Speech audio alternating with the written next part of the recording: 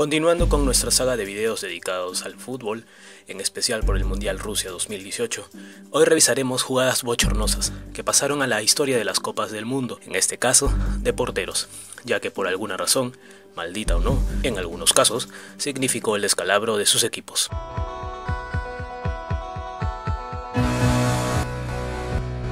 El fútbol, como otros deportes y en la vida, posee el riesgo del error humano. Pero ¿qué pasa cuando este proviene de quien debe ser el último en guardar el cero en portería? Mundial de 1982, España. Vladimir Pérez.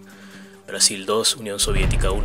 Brasil ha tenido algunos porteros poco fiables a lo largo de los años, y el número 1 de 1982, Valdir Pérez, fue sin duda uno de ellos, en su enfrentamiento grupal de apertura, los hombres de Tele Santana se enfrentaron a un equipo de la Unión Soviética en una racha de más de 20 partidos invictos.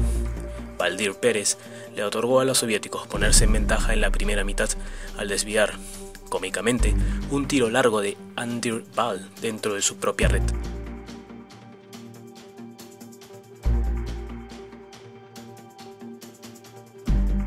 Sócrates y Eder anotaron goles en los últimos 15 minutos, dándole la victoria a Brasil por 2 a 1. Mundial de México 1986. España se enfrentaba a Irlanda del Norte. Todo iba bien, con triunfo para España, hasta que Andoni Subizarreta, arquero español, erró un despeje. Para colmo, este se resbala, para que Clark pueda anotar para Irlanda en el minuto 46.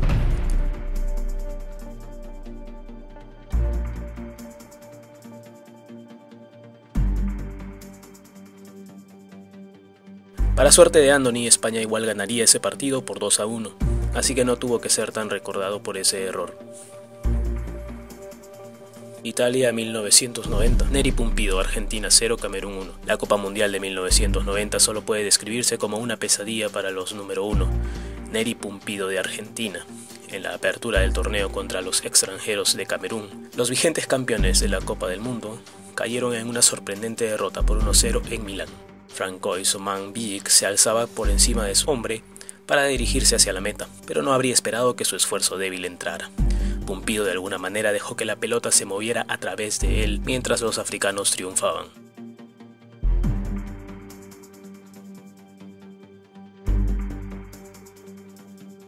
Para empeorar las cosas en el siguiente juego, contra la Unión Soviética, Pumpido se rompió la pierna. Su reemplazo, Sergio Goicoechea, se convertiría en un héroe nacional después de que sus milagrosas atajadas de penales ganaran sobre Yugoslavia y el anfitrión, Italia. Rusia 2018, Caballero.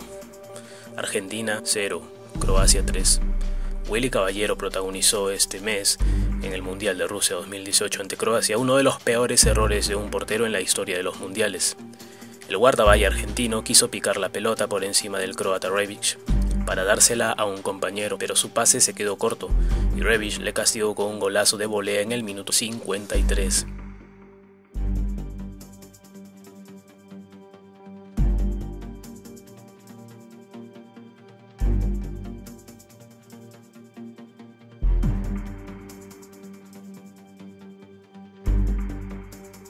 Curiosamente, San Paoli, técnico argentino, eligió a Caballero por ser bueno con los pies.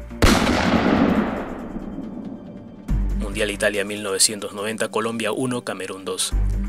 Como porteros excéntricos, René Guita seguramente se convierte en el arquero más excéntrico de todos los tiempos.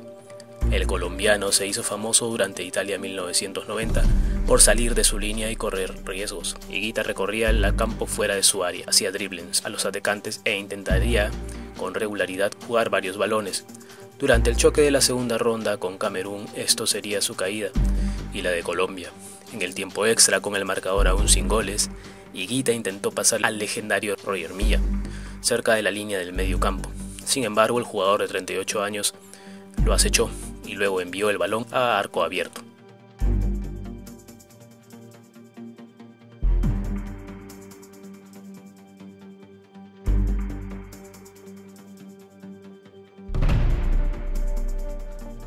Camerún avanzó a la siguiente ronda y por lo tanto Higuita fue el villano de ese partido.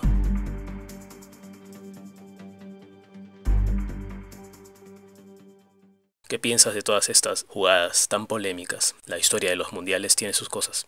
y los errores siempre estarán ahí, hay que estar muy atentos para no cometerlos. Si te ha gustado este video no olvides suscribirte al canal que se vienen muchas más cosas así. Gracias por la atención y que tengas un gran día.